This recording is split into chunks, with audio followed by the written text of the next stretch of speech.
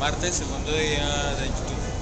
Ayer se abrieron las puertas para que la gente ingresara desde las 12 del día y estuvo ingresando gente hasta las 8 de la noche.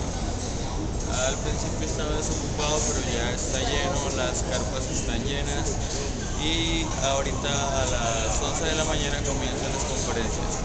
Hay conferencias en el área de desarrollo de robótica, de desarrollo, eso es como diseño. Eh, ¿Qué más les digo? Estoy hinchado porque acabo de despertar, estaba durmiendo. ¿Me regalas una toma? Gracias. ¿Cómo te llamas? Paloma. Oh, Paloma. Qué bonito.